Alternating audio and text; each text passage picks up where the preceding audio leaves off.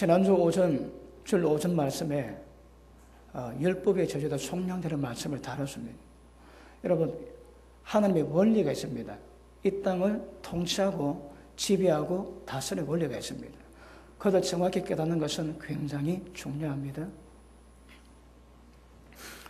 여러분, 우리가 지난주에 말씀 몇 개 찾아봤지만, 대한민국은 대한민국 법이 통치하는 것이 아니라 하나님의 법이 통치합니다. 모든 자연 마물이 똑같습니다, 여러분. 그러므로 해일이 일어나고 지진이 일어나고 이 땅에 많은 모든 저주 땅 전부 다 하나님의 말씀대로 이루어져가는 것입니다. 그래서 그것을 정확히 깨닫는 것은 굉장히 중요한 말씀이고 여러분 오늘 말씀은 특별히 우리 가정뿐 아니라 우리가 살아가는 모든 땅에 그리고 이 대한민국에도 하나님 법이 통치돼 가지고 모든 법대로 이루어지는 것을 분명히 깨달아 주시기를 바랍니다. 여러분 법이 무섭습니다. 그거 아시죠? 여러분 제가 아는 목사님이 예전에 크게 사고를 하셨습니다. 그리고 사업체도 여러 개 가지고 있었는데 한 번 자금이 부족했대요.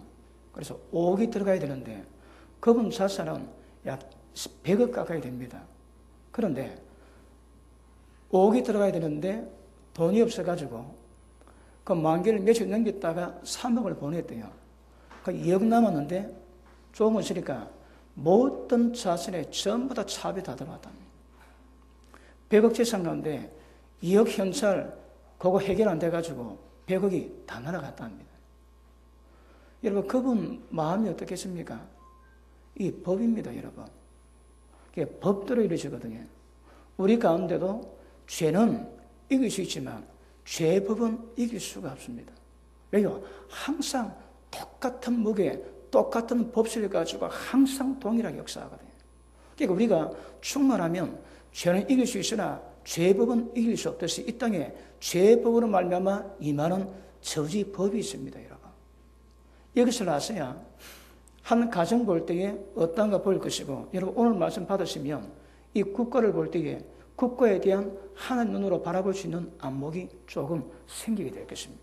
왜요? 국가도 전부 다 이 법대로 이루어져 가는 것입니다. 특별히 오늘 제가 예수님의 십자가 보린 능력이 얼마나 권세 있는가. 여러분, 지난주에 말씀 다뤘지만, 처녀가 시집을 갑니다. 첫날 밤 보냈는데 전혀 흔적이 없습니다. 그래서 남편이 고소를 하면, 검사를 했다가 남자가 잘못되면 남편이 벌금 물고 평생 그 여자를 책임지지만 만약에 처녀가 아닌 것이 발각되면 돌로 쳐 죽입니다. 옛날에는 그 법이 시행되어 있습니다. 그게 율법입니다. 그 법대로 이 땅은 통치받았거든요. 그러니까 지금 이 땅의 사람은 그 법을 몰라도 지금 한국 땅에 우리 큰애가 학교를 갔다가 경험했는데 그안 하는 애들이 없답니다. 그래도 우리 애는 그 아내 때 우리가 밤에 단속하거든요. 뭐 심어라도 몇 시 들어오냐, 언제 들어오냐. 왜요? 밤 문화는 죄를 범하거든요. 그래서 그 예를 주면 안 됩니다. 근데 보니까 우리 큰애는 그 친구들 가운데 천년 기념물로 인정받는데요. 왜요? 수총각이거든. 그런데 여러분, 자매가, 자매가 정결시키지 못하고 시집까지 이미 시집 갈 때 그 집안에 저주가 임하는 거라. 어떤 저주라고 해? 돌로 쳐 죽입니다. 다시 말하면 죽음의 영이 그 자매에게 역사할 수 있는 문을 열어놓습니다. 그래서 그 법이 굉장히 무섭습니다. 저도 제가 말씀 전하고 주일 밤에 자기 전에 말씀 묵상하는데 머리가 띵합니다. 왜요? 법이 너무 무서워서. 여러분 그 말씀 가지고 지금 보면 한국에 지금 결혼한 자매 가운데 순교시키고 자매, 결혼한 자매가 과연 몇 명 되겠습니까? 그러니까 전 가정마다 결혼하면서 전부 다 저주가 다 들어갑니다. 여러분 부모님을 공경해야 땅에다 잘 되고 장수합니다. 장수는 병이 안 오는 거라. 여러분 병은 그냥 오지 않습니다. 그 파리, 바퀴벌레 그 다리는 온갖 균이 다 있습니다. 근데 메뚜기, 여치 다리는 균이 못 들어옵니다, 여러분. 자연 만물을 통해서 하나님은 세상 만물 이치를 보이시거든요. 그러니까 여치나 메뚜기 다리는 절대 병균이 들어올 수가 없습니다. 근데 팔이 박혀보면 온갖 병균이 다 들어오는 거거든요. 그러니까 병은 함부로 들어가지 않습니다. 죄권색에서 병이 들어가거든요. 그러니까 장수하는 것은 병 없는 삶을 사는 것입니다. 누가 부모님을 공경할 때에 잘 됩니다. 왜요? 하나님이 형통에 복을 주시거든. 그런데 부모님께 불의하는 자가 잘 되지. 악인의 영달은 심판이 더 큽니다. 왜? 죄가 더 크거든요. 돈을 많이 벌면 벌수록 죄가 더 커지는 거라. 그러니 지금은 좋을지 몰라도 나중에 심판이 더 큽니다, 여러분. 그래서 악인의 악인의 본능은 지옥불이 더 뜨거운 것 아셔야 됩니다. 그러므로 하나님 법을 아시고 가셔야 우리가 복을 받거든요. 그 여자만 그렇나 남자도 똑같습니다. 남자는 예, 남의 여자 손대지 그럼 돌로 쳐 죽입니다. 그런데 총각이 처녀를 손댔습니다. 그러면 평생 그 여자를 안으로 맞아야 되는 법이 있습니다. 그래서 이 법대로 지금은 세상 가운데 지배하고 통치하는 것 분명히 아셔야 됩니다. 그러면 우리가 성경 말씀이 뭔가를 알아야 이 땅의 법칙을 알 수가 있습니다. 그리고 왜 저주가 왔는지, 어떻게 하면 저주를 막고 우리 인생이 복이 되는지 모든 율법에 정확히 기록되어 있다는 것입니다. 아시겠습니까? 여러분, 그 구약의 제사장, 생각도 목사벌입니다. 제사장 딸이 혹시 시 가기 전에 잠자리 하거들랑 특별히 불러 태워주기로 합니다. 다른 여자는 간음죄 범할 때 돌로 쳐 죽이지만 제사장의 딸은 불로 태워 죽입니다.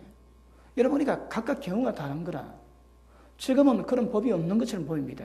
대한민국의 통치하지만 그렇지 않습니다. 여러분 개인 개인의 이 땅에 살아가는 모든 사람의 모든 운명 속에 하나님의 법이 그들 인생 가운데 생사화복을 주장하세요. 그 법대로 개인 인생이 달라지고 그 법대로 가정이 달라지고 그 법대로 자식의 운명이 달라지고 그 법대로 국가의 운명도 달라집니다. 아시겠습니까? 자, 우리 아모스 7장을 보십니다. 아모스 7장. 그래서 법이 중요합니다. 법을 정확히 아시는 것은 굉장히 중요합니다. 7장 보십니다.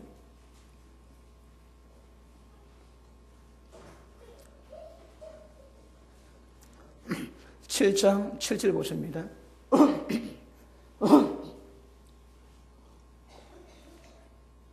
또 내게 보이신 것이 이라니라 다림줄을 띄우고 산담 곁에 주께서 손에 다림줄 잡고 섰었더니 내게 이르시되 아모스야 네가 무엇을 보냐? 내가 대답하되 다림줄이니다.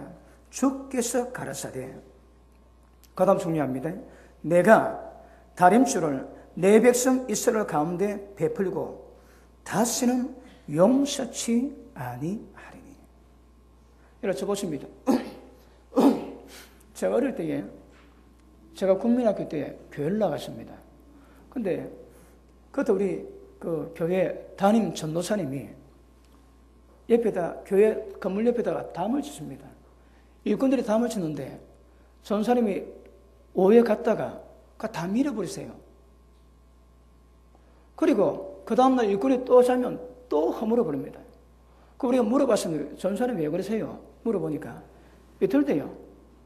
삐뚤면 지금은 괜찮아 나중에 무너진다는 거라. 일꾼들이 똑바로 되는데 똑바로 안 된대요. 그리고 다림줄 가지고 줄을 달았던 줄을 딱 매는데 이게 삐뚤은 거라. 그 지금은 괜찮아 무너진대요. 위험하니까. 그러니까 허물어 버리고 다치시라고 얘기하는 겁니다. 여러분 하나님께서 다림줄 갖고 계십니다. 우리 개인의 인생의 다림줄을 재시고 국가마다 다림줄을 딱 잽니다. 여러분. 도시도 똑같습니다. 여러분 몇 년 전에 뉴올리언스 미국 도시에 홍수 왔지. 근데 이미 그 전에 기도하는 많음을 통해서 그 도시가 회개되고 특별히 그 도시가 그 귀신을 접해가지고 점을 보는 것이 굉장히 유행했대요. 그런데 하나님이 경고하시기를 어떤 분이 기도하는데 환상을 보시는데 도시가 물에 잠기고 시체가 둥둥 떠다니는 거 보여드랍니다. 그리고 단음을 통해서 회개라고 전했는데 그 도시 회개 안 했습니다. 나중에 허리케인이 와가지고 그것을 완전히 물에 잠갔지. 그러니까 본 그대로 이루어진 거거든요. 오늘 말씀 다 다룰 겁니다. 기대하시고 받으십시오. 전부 다 말씀대로 이루어집니다. 그러므로 뉴올리언즈 그 도시에 하나님께서 다른 일 되었는 거라. 근데 때가 되면 뭐라고 해? 절대 용서하지 않겠다고 말씀하십니다. 그러면 지금 7장 이후에 이 말씀 이후에 말씀하신 저주가 거의 임하게 되어 있습니다. 그러니까 이 법이 하나님 법이거든요. 그러니까 우리 인생 가운데도 하나님의 다름질로 되세요. 그리고 때가 되면 이제 절대 용서받지 못할 영역에 들어가게 되고 그러면 하나님의 저주가 임하기 시작합니다. 물론 회개하면 돌이키시지만 여기서는 회개도 들을 수 있는 상태가 지나갔습니다. 일단은. 그리고 오늘 시간 보시고 다음 못 따르면 집에 가셔가지고 7장 7절 이후에 하늘 뭐라고 말씀하신가 정확히 한번 보시면 굉장히 은혜가 될 줄 알겠습니다. 여러분, 그 미국에 그 미국 초창기에 모카 다레고미가 미국 남부 땅을 휩쓸었대요. 그러니까 모카로 그 일을 일하고 돈을 버는데 모카 다르고미가 전부 다 모카 농사를 망쳤대요. 근데 어느 한 집만 그 당시 1900 초반에 50만 달러를 벌었대요. 50만 달러. 엄청난 금액입니다. 그러니까 왜 그런가 가보니까 그럼 예수 믿는 분인데 특별히 성교의 헌신과 주의 영광의 헌신을 많이 한대요. 그런데 왜 거기만 잘 된가 가보니까 땅에 철조망을 쳐놨는데 철조망 밑에 여러 땅 부분에는 뭐가 아무것도 없습니다. 중간에 철조망에 가스가 있지. 그런데 가보니까 철조망 라인 밑에 목화 다람쥐 구미 벌레가 전부 다 모여있는 거라 안에 들어가지는 거 들어가지는 뭐예요? 아무것도 없는데 벌레가 못 들어가 그 모여있는 것이 많은 사람이 그 관광하러 갔답니다. 왜 그럴까요? 눈에 보여준 천사가 지키거든요. 그러니까 하나님의 허락처럼 못 들어갑니다, 여러분. 못 들어갑니다. 그러니까 아기는요, 아기는 잠잘 때 어떤 저주, 죽음이 올까 두려워합니다. 그 어이는요, 두 다리 뻑 잡고 잠에 왜 걸릴까보다 걸릴 것이에요. 그래서 복이 있는 것은 복들이 역사하고 저주 있으면 반드시 여러분 저주가 역사하는 거 기억하시길 바랍니다. 근데 이게 그냥 한다고 그래서 안 하나님이 다른 줄로 딱 재십니다, 여러분.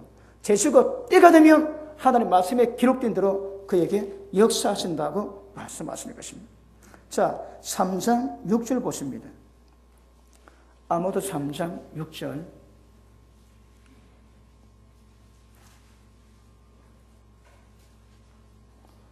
오늘 되게 은혜가 되는, 되는 모양입니다. 저 위에서 시끄러운 거 보니까. 자, 6절. 성읍에서 나팔을 불게 되고야 백성이 어찌 두려워하지 아니하겠으며 여호와의 시키심이 아니고야 어찌 재앙이 성읍에 임하겠느냐. 그러니까 여러분 재앙은 기억하십니다. 여호와의 시키심입니다. 시키심. 여러분 사이즈가 사이즈가 우리에게 임하는 저주는 예, 모두 원수마귀가 합법도 역사합니다. 그런데 도시에 나라에 재앙이 임하는 것은 예, 귀신이 하는 것이 아니고 하나님이 하신대요. 하나님이 시키시는 거라. 하나님이 허락해야 원수마귀가 그 도시를 점령하시는 권세를 갖습니다. 그러니까 전부 다 하나님의 손에 있는 거거든요. 그 밑에 보십니다. 주 여호와께서는 자기의 비밀을 그종 선자들에게 보이지 아니하시고는 결코 행하심이 없으시니라. 그 전부 다 보이시는 말씀하십니다, 여러분. 어떤 일이 있을 것인가. 그런데 그 재앙은 안 듣거든요. 그러니 하나님은 말씀하심에도 불구하고 들었음에도 불구하고 회개치 않으니까 이 해결이 안 되는 겁니다. 여러분 오늘 제가 아무것을 다룬 이유가 왜냐하면 1장 1절 한번 보십니다. 1절 유다왕 우시아의 시대 곧 이스라엘 왕 요아스 아들 여로보암의 시대에 지진 지진 전 2년에 드가 목자 중 아모스가 이스라엘에 대해서 묵시를 받은 말씀이라. 자, 아모스가 이 말씀을 기록이 언제 했다고 해? 여러분, 우세 왕 때에 굉장히 큰 지진이 났습니다. 그런데 지진 일어나기 전 2년 전에 이게 지금 이 말씀이 지금 선포되는 거라. 뭐라고 해? 2년 지난 뒤에 반드시 이 땅에 큰 지진이 있을 것을 지금 여러분 예언을 심판을 예언하고 있습니다. 그리고 그러면 아무서 보면 왜 지진 난가 그 이유가 나오는 거라. 아시겠습니까? 그리고 하나님의 주의 종 신자에게 말씀하심 없이 행하는 법은 없습니다. 반드시 경고 다 하십니다, 여러분. 컴퓨터 보십니다. 2절 제가 가로되 여호와께서 시온에서부터 부르짖으시며 예루살렘부터 엄설 바라시리니 어, 하나님 어떻게 하셨나고요? 부르짖는데요 하나님께서 왜요? 이 땅이 지금 죄악에 관영하니까 절대 돌이키라고 부르짖는다 하나님께서 목적의 초장이 애통하며 갈멜산 꼭대기가 말하리로다. 여러분 이 땅의 죄 때문에 이 땅이 전부 다 황폐됩니다. 여러분 재밌는 것은 지금 대한민국은 지금 몇십 년 계속 풍년이지. 그래 휴전선 딱 넘어가지고 북한은 시체를 못 믿습니다. 시체를 묻을 수가 없는 거라 그 시체에 고기를 먹겠다고 달아드는 사람이 많아가지고. 그러니까 휴전선 딱 긋고 밑에는 풍년, 위에는 흉년입니다. 물론 먹을 거 없어가지고 산에 나무 다 뿌리 캔 이유도 있겠지만 분명한 것은 흉년이고 풍년인 거라. 여러분 한국 땅이 얼마나 좁습니까? 그 반동가리는 풍년이고 반동가리는 여러분 저주로 흉년이 임합니다. 그러니까 땅이 복의 땅이냐 저주의 땅이냐 이게 표현합니다. 그럼 왜 여러분 북한은 그런 저주가 임할까요? 우상이 있거든. 김일성 동상이 북한 전역에 깔아놨습니다. 지금은 김정일까지 합세했습니다, 여러분. 그 개도철하지. 거의 귀신이 임하는 거라. 나무에다가 돌에다가 개도철하면 그 지역에 있는 귀신이 힘을 얻습니다. 왜요? 경배하거든.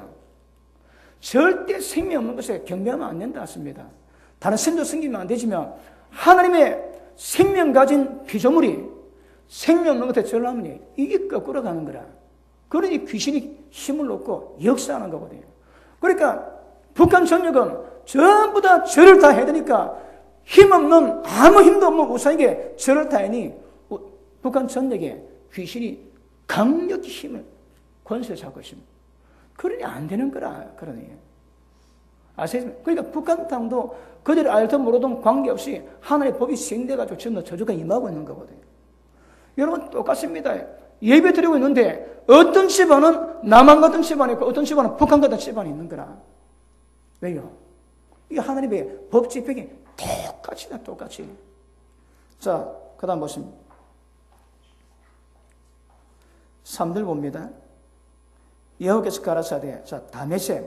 자, 이거는 이스라엘과 유다 외에 옆에 있는 국가들에게 대한 하나님의 예언을 받았습니다. 근데 재밌는 것은 이 도시마, 이 국가마다 하나님께 궁궐을 전부 다 불태워버립니다. 궁궐을.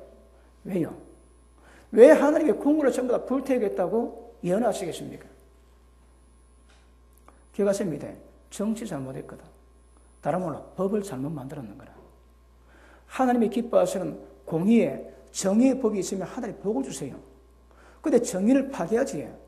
그러면 그 잘못된 법 때문에 이 땅에 고통받지. 그러면 그 법을 제정했던 그 공간에 전부 다 하나님이 저주 다 퍼붓습니다, 여러분. 자, 보십니다. 3절. 여호와께서 가라사대 다메섹의 서너 가지 죄 때문에 내가 그분을 돌이키지 아니하리니 4절. 내가 하살의 집에 불을 보내리니 베나닷의 궁궐들을 사르리라. 왕이는 궁궐을 불태워버리는 거라. 왜요? 여기서 법이 잘못되어 왔거든요.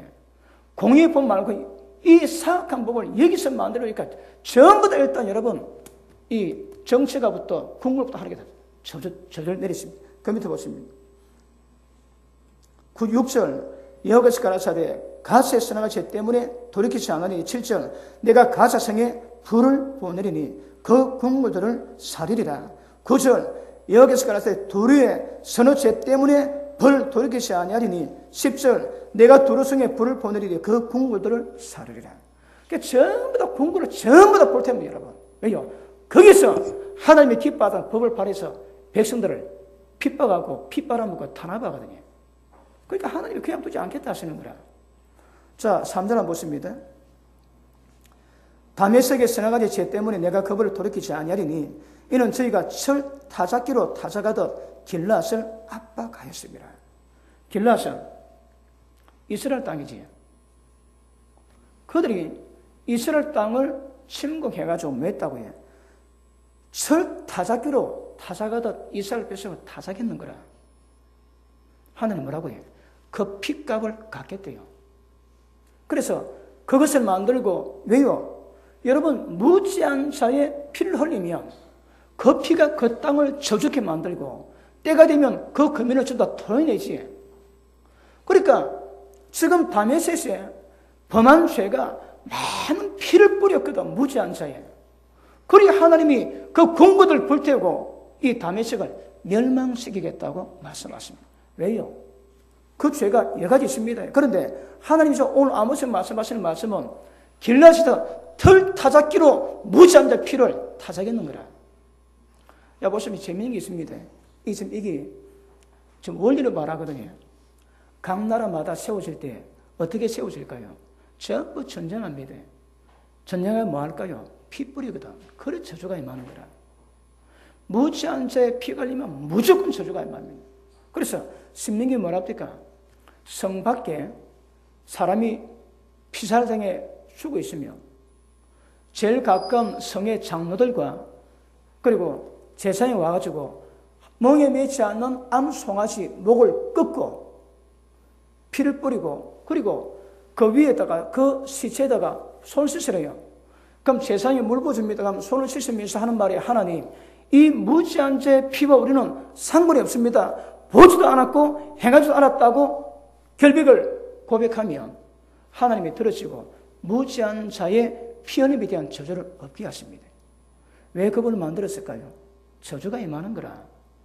여러분 누가인지 몰라도 그 땅에 무지한 자가 피흘리면 저주가 임하거든요. 그러니까 그 저주를 그렇게 해서 하나님의 정한 법대로 전부 다 해결하라고 말씀하시는 거라. 그런데 전쟁해가지고 한 민족을 한 동족을 철 타작기로 타작했지. 그러니 이 국가가 하나님의 저주가 임할 수밖에 없는 것입니다. 한국이 해방되고 나라가 반 갈라졌지. 왜요? 이스라엘이 솔로몬 때문에 나라 갈라졌거든. 그리고 5년 만에 육이 터져가지고 죄됨이 됐지. 왜요? 왜 고통받게 할까요? 이 전부 다 문제가 있는 거라, 전부 다. 전부 다 하나님이 정한 법에 저촉되기 때문에 그런 문제가 있는 거거든요. 지난주는 여러분 개인에 대한 하나님의 법을, 오늘은 이 세상을 통치하시고 국가에 대한 법이 뭔가 정확히 하셔야 됩니다. 그러면 국가에서 뭘 정부할 건가? 정부에서 어떤 정책 선가 보면 이게 복을 받을지 저도 받을지 금방 나옵니다, 여러분. 있는 자에 편두고 없는 자가 고통받게 만들지.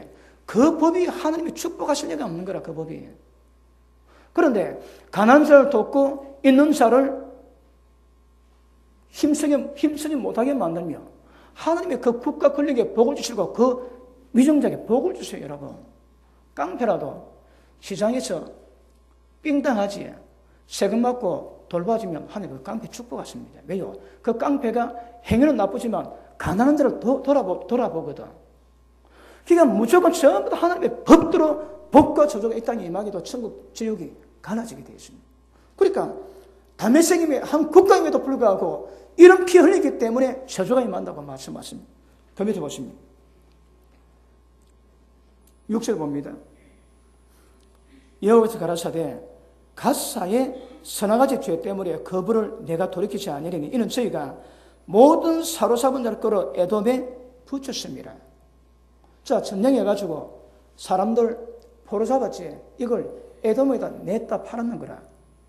자, 우리 출애굽기 21장 보십니다.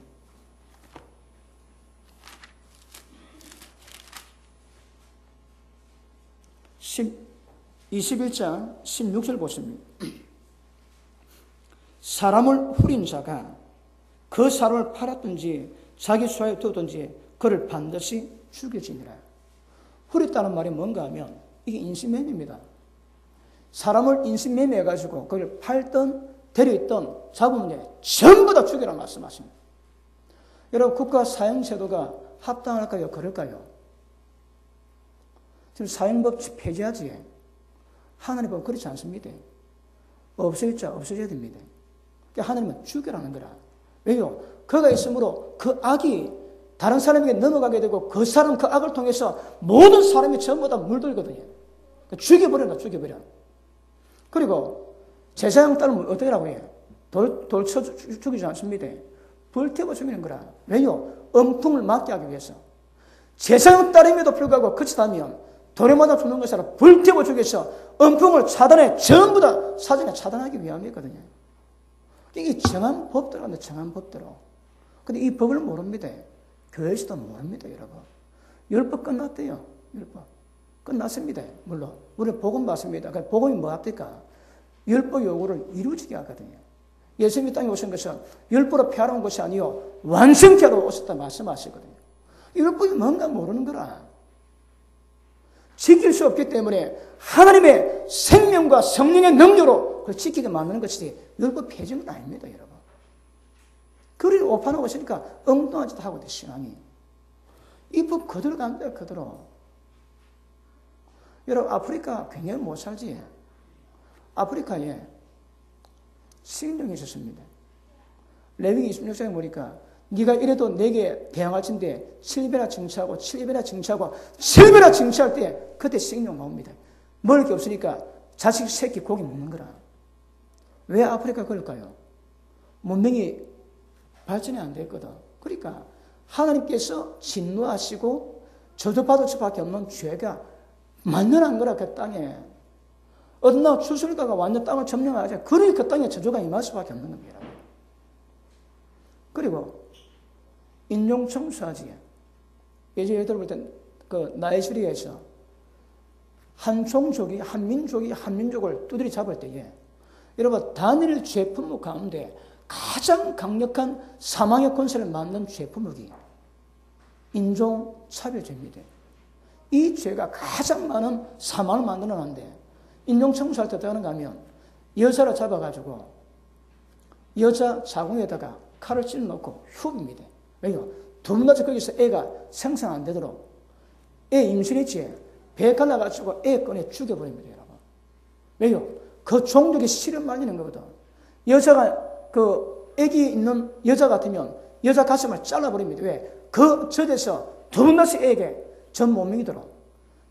거기 전부 다 그럽니다. 그러니까 아프리카 여러분 인종청소할 때 그게 얼마나 무자비했습니까? 어느 마을에서는 여자를 전부 다 남자 총 딱 겨누고 여자 집단 성폭행하는데 남자들이 일나지. 그러니까 전부 다 쇠사를 묶어놓고 본 앞에서 여자 전부 다 집단 성폭행했습니다.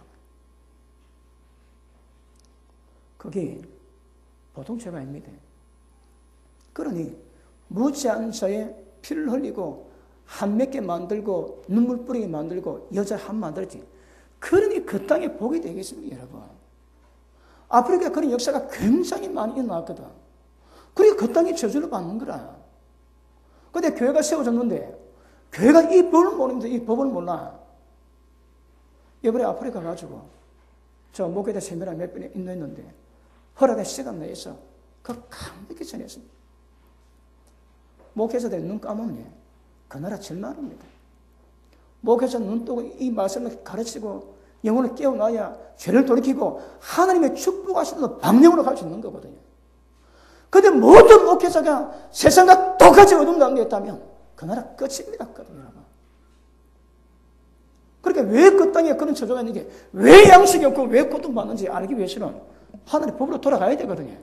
근데 문제는 법을 모르는 거라.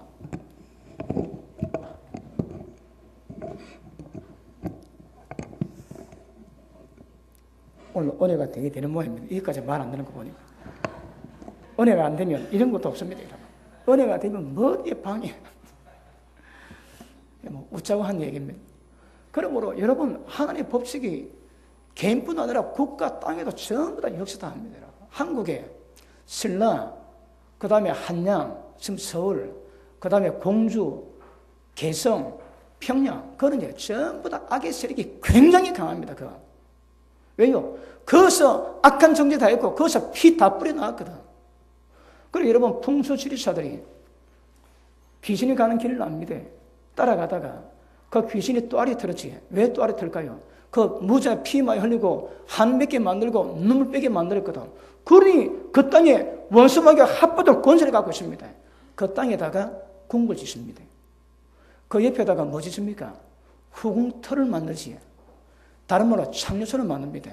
고객은 한 명밖에 없습니다. 왜요? 음란해야 귀신 힘이 더 커지거든. 전부 원래 그렇습니다. 고대 전쟁은 전부 다 귀신 전쟁입니다. 몰라서 그렇지. 그러니 귀신이 힘을 통해서 전부 다 역사 다 하는 거라. 그러니 그 나라가 저주가 임할 수밖에 없는 거야. 알도 모르는 관계다 저주가 임하게 되는 것이. 알겠습니까? 그러니까 인신매매하지 성경 죽게 됩니다. 근데 지금 이런 그 사형 폐자지에 하늘 법과 거꾸로 가는 거라. 그러면 이게 굉장히 문제가 돼, 문제가. 여러분 성경 보니까 약속의 땅에 들어갈 때에 남자, 여자, 아이, 짐승의 새끼까지 호흡이 있으면 다 죽이라며. 왜요? 귀신이 그 몸에 들어가거든. 그게 씨를 말리라는 거라. 근데 아홉 집안에 죄를 범하니까 뭐랍니까? 아홉 집안에 남자는 전부 다 죽여버립니다. 여자 노타치. 왜요? 남자만 죄가 되거든. 왜요? 아홉 집안에 그 후손이 오면 이미 하나님의 저주를 말미암아 진노에서 못 벗어나거든. 그 나봐야 저주가 안 되게 되고 나봐야 모든 사람의 악을 행할 뿐 소망이 없습니다. 그러니 그냥 죽여버려야 합니다. 왜요? 그대를 그 남자에서 그 남자 집안에서 후대가 노는 것을 그냥 잘라버립니다, 여러분. 성경에 남자만 죽여라 그 말씀 안 오지. 여자는 죄였거든요. 여자는 두고 남자 그 씨를 전부 다 종족을 말려버리는 말입니다. 그 악인의 집은 두 분 다시 땅에서 땅 못하게 하니까 역사하시는 겁니다. 왜요? 넣으면 저주가 임하고 넣으면 그 인간 때문에 남의 사람까지 다 저주 임하게 만들거든요. 아시겠습니까? 그래 여러분 세상에 이런 법칙이 있습니다.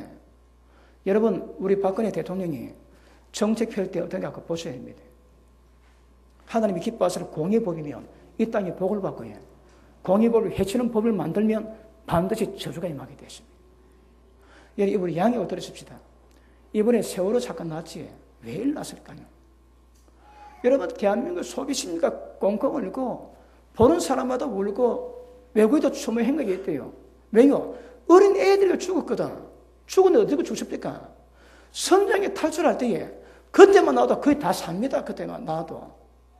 그런데 저거는 밖에 놓을 때에 한마디만 될 건데 한마디 안 해가지고 물에 잠겨가지고 못 나왔거든요. 세상에 이런, 이런, 이런 경우가 있습니다. 이런 경우가. 그런데 왜 이런 일이 벌어질까요? 왜 대한민국 소비가 얼만큼 국민들 마음에 아픔을 줄까요? 그냥 온 거 아닙니다, 여러분. 이거 그냥 온 게 아닙니다, 이거. 생명은, 사망은, 사망이 역사할 때 그런 거라. 그러니까 그런 사건을 볼 때 절대 그냥 보시면 안 됩니다. 그러니까 오늘 말씀을 들어 여러분 인식이 되면 사회 보고 세상 볼 때 이게 잘못된지 잘된지 그걸 우리가 구별할 수 있는 거라. 그런데 잘못하지 그러면 반드시 때가 되면 죄가 관능해지면 하나님이 역사하시면 그 국가 망합니다 여러분. 국가 틀이 있죠. 권력 틀이 있습니다. 하나님이 기뻐하시는 공의를 행하면 국가 틀이 든든해집니다. 근데 다르게 하지. 그러면 국가 틀이 권력 틀이 약해지는 거라. 기반이 약해졌다 때가 되면 그냥 무너집니다, 여러분. 로마가 왜 무너졌다고요? 그 당시에 로마 귀족들이 예수 믿는 처자식만 며느리 삼았대요. 왜요? 전부 다 저가 데리고 놀았거든. 모든 청년을 데리고 놀았는데 자식 줄 아니까 깨끗한 여자가 없는 거라. 그러니까 저가 데려놓던 로마 여자는 전부 다 포기하고 순교 지키는 예수님 여자만 골라가지고 며느리 삼았거든요. 그러니 귀족 집안에 복음이 역사되고 나중에 복음화 되었지만 그럼에도 불구하고 무너진 것은 그 죄 때문에 다 무너진 겁니다. 그죄 때문에 여러분. 그러니까 이거는 개인과 가정과 국가랑 똑같습니다. 이거. 그러니까 후리였지. 모든 사람을 잡아다 인생의 매체가 하늘 뭐라고 죽여버리는 거예요. 이거. 얼마 전에 아프리카에서 한 학교 기습해가지고 260명인가 이 학생 납치했지. 그런데 몇 명 도망가고 한 100, 200명 정도 갔는데 그들이 1인당 만 원도 안 되는 돈을 받고 어디 팔았대요. 그리고 부부로 시키는 거라. 그 부부 아닙니다, 여러분. 그거는 사람 인신 매매해가지고 강제로 인생을 고통받게 만드는 거거든요. 그는, 그는 절대 결혼이 아닙니다. 그래, 인신매매해가지고 전부 다 만 원도 안 주고, 돈을 주고 악으로 팔았는 거라. 로마가 여자가 모자라가지고 남의 땅 가지고 여자를 납치해가지고 그 납치한 여자 가지고 결혼하고 아 낳았거든요. 그러니 로마 땅이 여러분 처음부터 저주가 임하다 처음부터. 그게 뭐든지 어떤 상황에도 죄가 없어야 복이고 죄시면 반드시 성경에 기록된 법대로 그 땅에 저주가 임합니다. 아시겠습니까? 자, 보십니다. 8절 봅니다. 7절 내가 가사성에 불을 보내리니 그 풍무들 사르리라. 내가 또 아스도에서 그 건민과 아스고론에서 홀 잡은 자를 끊고 그 손을 돌이켜 에그론을 치리니 블레셋에 남아있는 자가 멸망하리라 주 여호와의 말씀이니라. 하늘이 딴다고 해.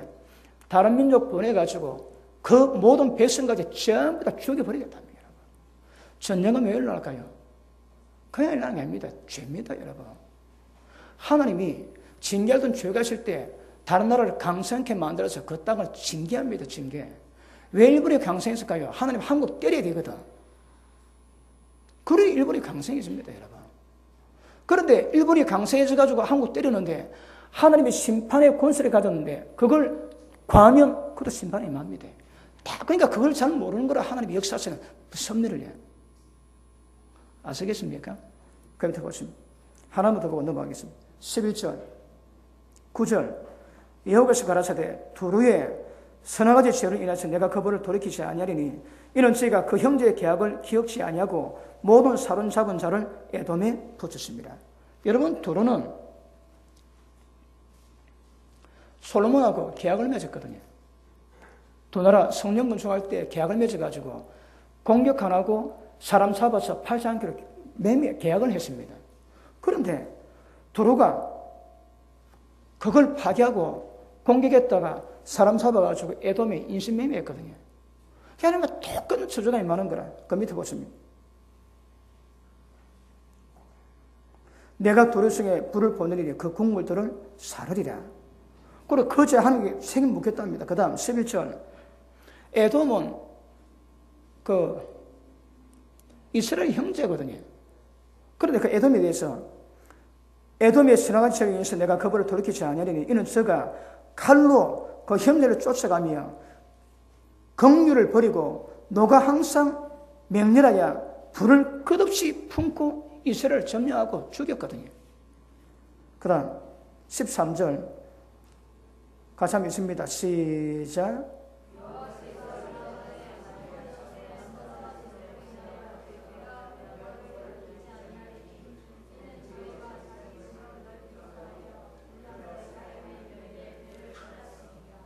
아멘.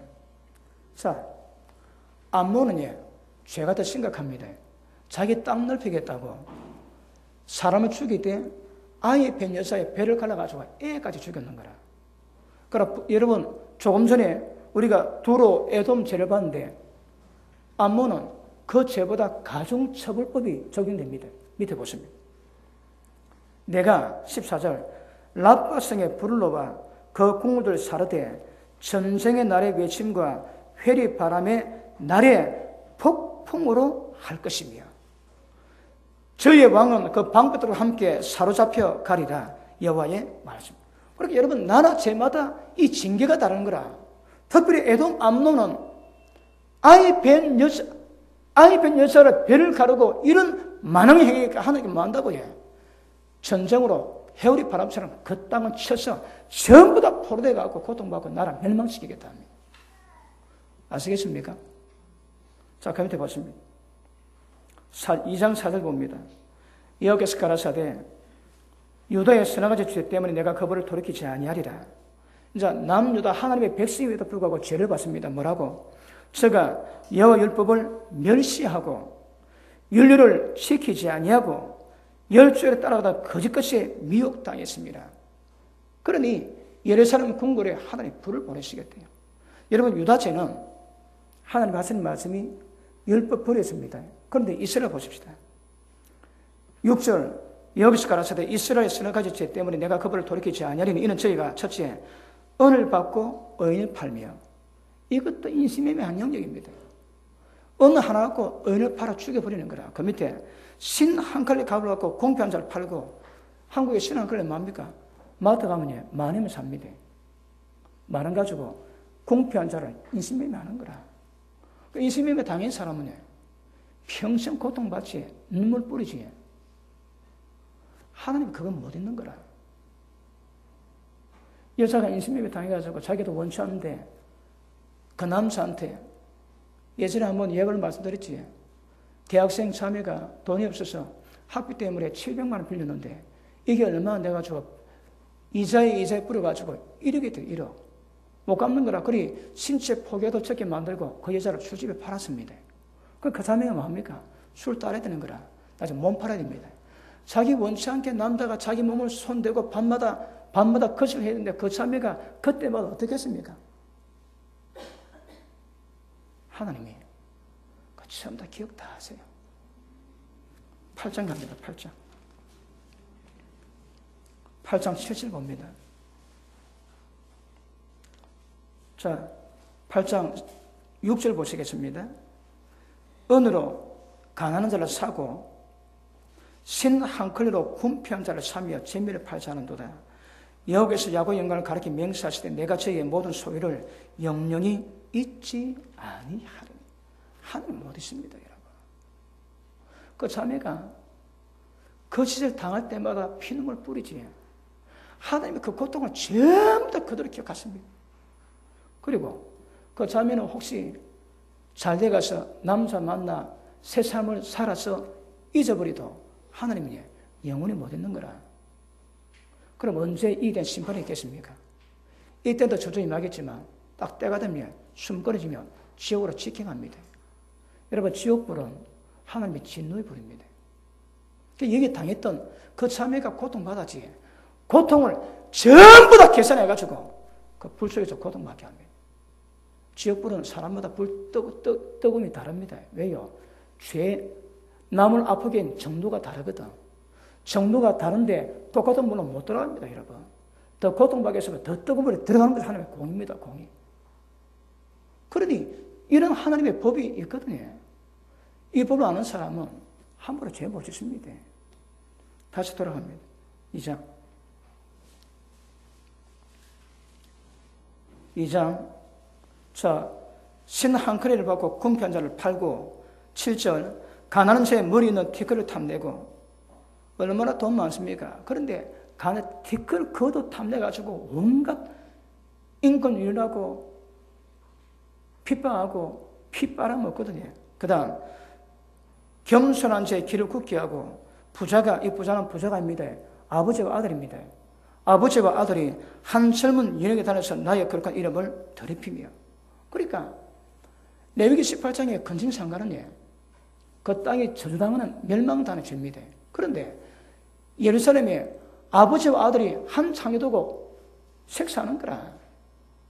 그렇게 이러면 하나님과 굉장히 가정은 가정은 일이라. 그 이런 죄 때문에 하는 게 다 분명히 징계한대요. 그 밑에 보시면 모든 단엽에다 전당 잡은 옷 위에 넣고 저희 신의 전에서 벌금으로 얻은 포도주를 마시며 여러분 돈이 없는 자에게 돈 빌려주지. 그러면 저당문 잡는데 옷 없으니까 재산을 그 옷을 잡거든. 여러분 이스라엘은 옷 가지고 덮고 잡니다. 근데 저당 잡도 밤이 되면 주라는 거라.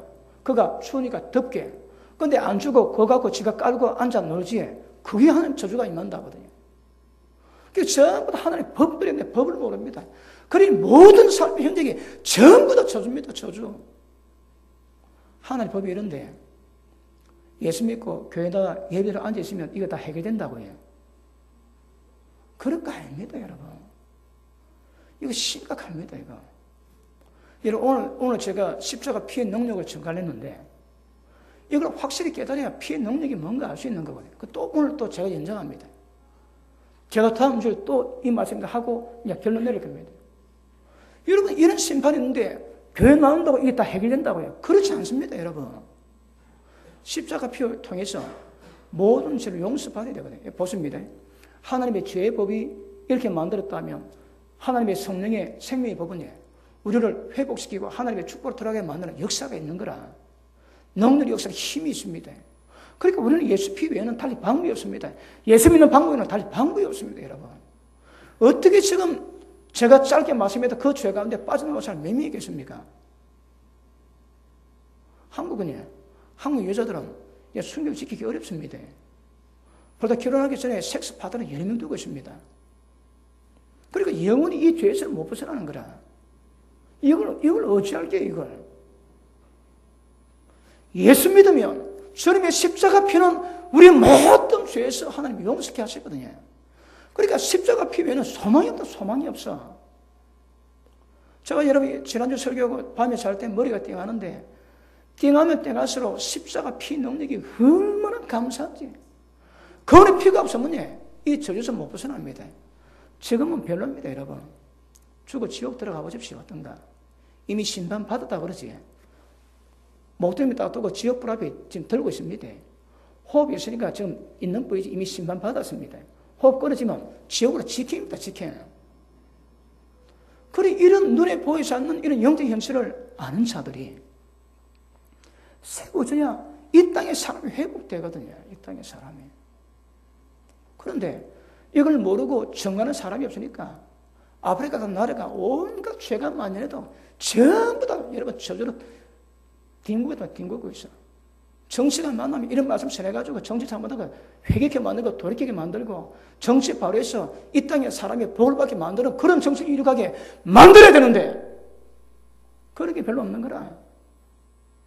심각합니다, 여러분. 다시 합니다. 법 들어갑니다, 법 들어. 법을 아셔야 그 법으로 치면 그 법을 이기시는 법을, 법 들어가야 이 땅에 복이 임하고 우리 이 세계 복이 임하게 될줄 믿습니다. 그러므로 이러면 여러분 하나님께서 반드시 저주한다 하시거든요. 자, 여러분 오늘 집에 가시면 아무수 읽어보십시오. 어떤 저주가 있는가? 자, 우리 사장 보고 넘어가겠습니다. 사장 7절 봅니다. 6절 봅니다. 사장 6절. 내가 너희 모든 성읍에서 모든 도시에서 너희 일을 한가하게 하겠대요.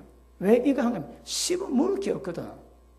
그게 양식이 없다면 양식이 없으니까 이가 씹을 게 없으니까 이를 한가하게 만든대요.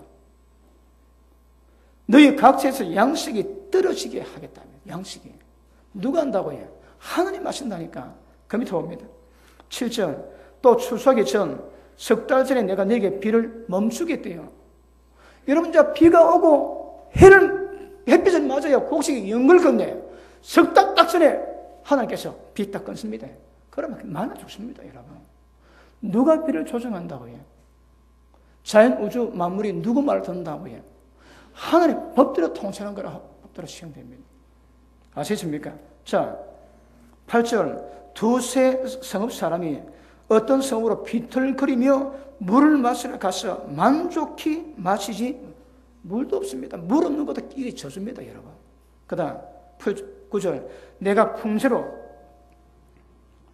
깐부기 재앙으로 팥종이로 너희 많은 동산과 포도원, 무화과 나무, 감람 나무를 다 먹겠다, 먹게. 팥종이 뭐겠습니까? 여러분, 다 자르다 그런 의미인데, 아마 정확히 보면, 메뚜기 뗄 겁니다. 메뚜기 뗄 때쯤은요, 먹을 게 없거든. 그리고 깐포기는 식물을 말라버리게 만드는 그런 병이 있대요. 그 다음에 풍제는, 이는 흑수병이라고 새카맣게 타들어가면서 이게 식물 다 죽어버리는 거라. 하나님 이것을 내가 쳤다 그랬습니다. 하나님이 친 겁니까? 자연법이 이미 그 하늘 법대로 다 합니다, 여러분. 여러분, 구약에 가끔 이런 말 있지. 하늘이여 들어라! 땅이여 들어라! 왜요? 하나님의 선자가 하늘 엄청 내지. 그걸 하늘이 시행해야 되거든. 땅이 시행해야 되거든. 하늘에서 하나님 음성이 바라는 것이 아니라 하나님의 사람이 음성 받으면 그 음성을 하늘이 듣고 땅이 듣고 그것도 시행해야 됩니다. 그 들으라는 거라. 그럼요. 하늘이 그 음성 듣습니다. 그 법대로 시행합니다, 여러분. 하나님의 권세가 뭔가 아시겠습니까? 자, 11절. 내가 너희 중에 성읍 무너뜨기를 하나님 내가 너희 도시를 무너뜨리기를 하나님 내가 소돔과 고모라를 무너뜨린 같이 그리 했대요. 그 다음, 너희가 불 붙는 가운데서 빼낸 나무 조각같이 됐음에도 불구하고 내게 돌아오지 않는다 하시는 거라. 자, 5, 5장, 5장 봅니다. 5장 8절, 7절, 공법을, 하나님의 공의로운 법을 인지도로 변하며, 인지는 뭔가 하면, 여러분, 인진숙이지. 이 숙입니다. 숙인데, 이 숙이 굉장히 서대요. 그 하나님의 공의 법을 선맛을 바꿔놓는 거라. 변하여 정의를 땅에 던지는 자들아. 묘성과 삼성을 만드시며 사망의 그늘로 아침이 되게 하시고 백주로 어두운 밤이 되게 하사 바닷물을 불러 지민의 소두신 자를 찾으라 그 이름을 여호와시니라. 자 보십니다. 여러분 바다의 한계가 뭡니까? 태평양 바다의 한계가 어딥니까? 한계가 어딥니까? 백사장입니다. 절벽이 있으면 그건 할 수 없고 태평양 바다에 그렇게 많은 물도 하나님이 그 바다의 경계를 해 모래로 정하였습니다. 웃기지? 그 바닷물이 모래를 못 넘어가는 거라. 이게 하나님의 법입니다. 파도치도에 모래를 못으로 내려갑니다. 그런데 하나님이 바닷물을 불러가다 땅을 때린다지. 왜요? 하나님이 하시거든. 이게 쓰나미입니다. 몇 년 전에 일본 쓰나미를 나지. 그럼 하나님이 때리신 겁니다. 왜요? 그 죄가 관영하거든. 그래 하늘말은 바닷물 불러가지고 때린 나시는 거라. 이게 헬입니다, 헬. 오늘 아무도 일장에 왜 이 말씀 기록했다고 해? 2년 전에 받은 글인데 이 땅에 지진이 있을 것이라고 말씀하는 거라. 그럼 지진이 왜 온다고 해? 이런 죄 때문에 땅에 지진이 오는 거라, 땅에. 여러분, 지진이 어디 많이 왔습니까? 뭐니 뭐니 해도 일본이지. 밑에 뭐 태평양 환, 판이 있다고 해. 그렇지 않습니다, 여러분. 하나님이 허락하시면 그 땅에 지진이 나는 거라. 판하고 아무 관계 없습니다, 여러분. 판은 하나님이 때리라. 그러면 움직이면 그냥 터가 요동하고 지진이 나지. 그게 지만들 한게 아닙니다, 여러분. 아시겠습니까? 하나님이 주관한다니까 모든 자연 법칙이 하나님이 주관하십니다. 아시겠습니까? 자, 8장 다시 돌아갑니다. 자, 8장 1절부터 놓지만, 자, 7절 봅니다. 여호와께서 야곱의 영광을 가리켜 명시하시되 내가 저의 모든 소위, 이게 뭡니까? 사절로 6절까지 나왔던 이 죄요, 지금 기록된 모든 죄거든요. 맹사시되 내가 저의 모든 소유를 영영 잊지 아니하려 하셨나니 이로 인해서 이런 죄 때문에 이 죄가 뭡니까 여러분? 정확히 말하면 경제불입니다. 돈 가지고 장난치는 거라. 어떻게 해요? 가난한 자 팔고 그리고 은 하나 가지고 의를 팔고 그러니까 경제불이 때문에 이 땅에 하나님의 저절이 많은데 보십니다. 땅이 떨지 않게 왜 땅이 떨까요? 이 지진입니다, 여러분. 땅이 떨고 그 가운데 모든 거민이 애통하는 거라. 왜요? 지진 때문에. 여러분, 일본에 지진 안 맞습니까? 이야, 그 무섭습니다. 10초만 흔들어도 그냥 처음부터 역가락입니다. 여러분, IT에 지진 있는 거 봤지? 도지전제로 숙대반 만들어 놨거든. 왜요? 하나님 보실 때 그 땅에 죄가 관영한 거라. 절대 우연이 없습니다, 여러분. 한국이 잘 살게 됐지. 외교 우연이 아니라니까. 모든 높은 산에 기도를 지어놓고 교회마다 밤마다 기도했거든. 이 땅에 죄를 용서 달라고. 밤마다 기도, 밤마다. 그러니 하나님 보고 주시는데 점차더만은 지금은 외국 나가보면 한국만은 나라가 없습니다. 불편한 게 없고 얼마나 음식이 맛있는지 밖에 나가면 그다음부터 고생입니다. 아프리카 가니까 접시 하나에 알랑이 조금 생선 시큼이 생각 요만한 거 끝입니다, 여러분. 또 호텔에 가가지고 10달러 주니까 그 살, 알랑이 좀 하고 닭다리 하나 줬대, 닭다리 하나. 그거는 만살입니다, 만살. 제가 갔다 오고 난 다음에 밥 양이 작아졌습니다. 2주 동안 그래 못하고 보니까 배가 쫄아가지고 양이 작아졌습니다. 국물은 하나도 없습니다. 섭 하나도 없습니다. 왜? 맛은 물이 없거든. 그러니까 사먹는 것도 돈이 드는데 맛은 아예 없습니다. 아예. 호텔 가도 물이 지저분해서 사우를 잘 못합니다. 여러분. 좋은 호텔 가야지. 그러니 왜 그런 저주가 임할까요? 왜 그런 저주가? 한국은 진짜 복받은 나라입니다. 진짜 복을 까먹고 있는 일도 많이 있지만 우리 현재까지는 밤마다 기도하는 교회가 있고 이 땅에 전례요새 회개하는 사람이 있고 그렇거든요. 그래 하나님 복이 있는 거라 복이. 맞습니까? 다시 보십니다. 모든 국민이 애통하지 않겠느냐? 온 땅이 하수의 넘침까지 솟아오르고 애고의 강같이 뛰노다가 나 자시리라. 온 땅이 하수처럼 올라왔다가 그냥 실 꺼지는 거라. 그 배를 타고 가는데 파도 치니까 올라가니까 천국 갔다가 파도 떨어지니 지옥 간다 하거든요. 그러니까 지진으로 지옥, 천국 갔다 지옥 갔다 하는 거라. 우리는 쾅쾅쾅쾅가 끝입니다. 거든요. 그 강도도 하나님이 정하신다니까, 강도도. 그래서 모든 땅이 솟다가 그냥 꺼져버린대요. 그 밑에 보시면. 주 여호와께서 가라사대 그날로 내가 해로 대낮, 대낮에 지게 하고 백주의 땅을 캄캄케 하고 절기를 애통으로 노래를 애곡으로 그리고 모든 머리를 대머리 되게 하고 이게 왜 한다고요? 뭐, 뭐 기록된 거니까 뭐 저는 잘못이 없고 뭐 이런 문제가 있다고 얘기하는 결국은 공간 인생이 되고 공간 나라가 되고 공간 가정이 됩니다, 여러분. 그 보시면 11절 시작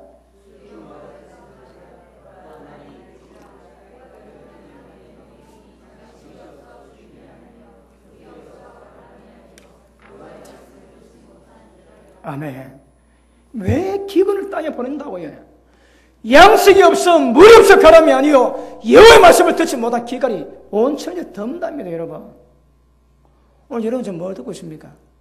하나님 말씀 듣고 있거든 이 말씀을 듣지 못한 기갈이 온 세상 다 덤대요 뭐 한다고 해? 말씀을 듣지 못한 기갈입니다 지금 안 그렇겠습니까 지금도 그래 온 땅에 기굴로 뒤덮는 거라 밑에 보십니다 9장, 9장. 3절 봅니다. 갈멜산 꼭대기 숨을 치라도 내가 거기서 찾아낼 것이요. 내 눈을 피해서 바다 밑에 숨을 치라도 내가 거기서 뱀을 맹하여 물게 할 것이라. 하나님 손 못 벗어납니다. 다 발동상이거든. 4절. 그 원수 앞에 사로잡혀 갈지라도, 원수 앞에 사로잡혀 갈지라도 내가 거기서도 칼을 명하여 살육하게 할 것이고. 여러분, 하나님 고집을 못 꺾습니다. 하나님 이 약속을 못 꺾습니다, 여러분. 좋게 말할 때 돌이키셔야 됩니다. 다른 방법이 없습니다, 다른 방법. 바다 밑에 들어가, 들어가도 뭐하지만, 들어가도 하나님이 뱀, 뱀매가지고 물게 한다면, 여러분. 지옥 밑에 들어가도 하나님 끄집낸대요. 그 밑에 보시면. 내가 저에게 주목하여, 주목하여 화를 내리고 복을 내리지 아니하리라 하시니라. 주 망군의 여호와는 땅을 만져 높게 하사 무릎 거기 거한 자로 애통하게 하시고 그 온 땅으로 하수인 넘침까지 솟아오르고 애굽 강같이 낮아지게 하시는 자요. 거전을 하늘에 세우시며 그 궁창의 기초를 땅에 두시고 바닷물을 불려 지밀 솟시는 그 이름은 여호와시니라. 자 5회 계속하겠습니다. 여러분 이거 들으셔야 됩니다. 그러니까 인식을 하셔야 됩니다. 그러면 오늘 말씀 듣고도 이제 여러분 국가를 보고 세상을 보고 어떻게 하나 보면 전부 다 표가 납니다. 우리가 음란한 자, 불이 행하는 자는 기억하십니다. 낮아지고 저주받게 되었습니다. 그냥 있는 법이 없습니다, 여러분. 죄만 있는데 그냥 편하게 죽는 법이 없다니까. 왜요? 하나님의 법이 여기서 이 땅과 하늘이 모든 자연이 전부 다 말씀드리면 역사하십니다. 저 땅에 태풍 불어라 하늘 말씀하는 태풍 오겠습니까? 바다가 땅이 하늘이 자동으로 거의 법대로 역사합니다, 여러분. 아시겠습니까? 자, 오늘 레위기 17절 한번 봅니다. 레위기 17장.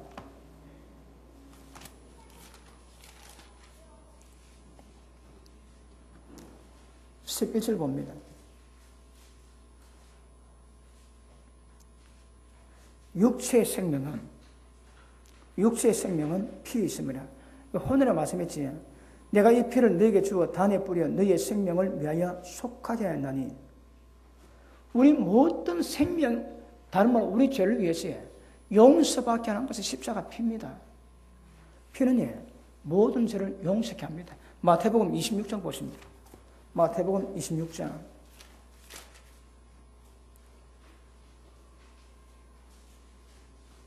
자, 오늘 우리가 십자가에 몸주가 편리주주의 뭔가 피를 대하거든요. 자, 보십니다. 26절. 저희가 먹을 때에 예수께서 축사, 떡을 가지고 축사하시고 떼어 가라, 떼어 제들에게 주시며 가르차되 받아 먹으라 이것이 내 몸이니라. 자, 오늘 자 보십니다. 예수를, 예수를 주라고 고백하는 사람은 다수 있습니다. 왜요? 저, 저 몸이, 몸이 우리에게 하나님의 생명을 역사하거든요.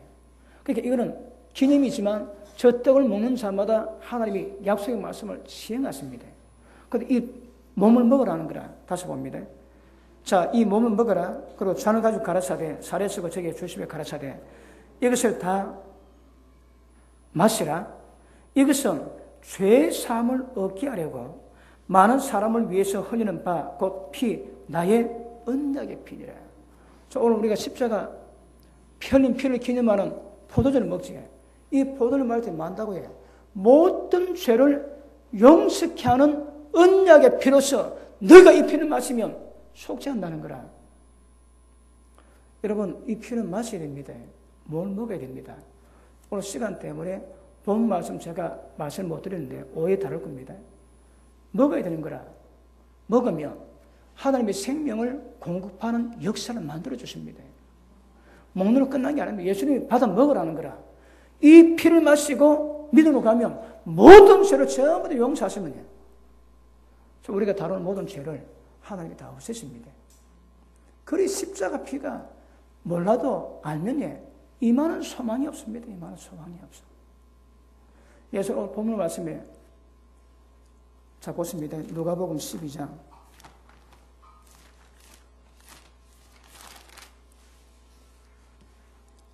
4 9절 내가 불을 땅에 던지러 왔노니 이 불이 이미 붙었으면 내가 무엇을 원하리요?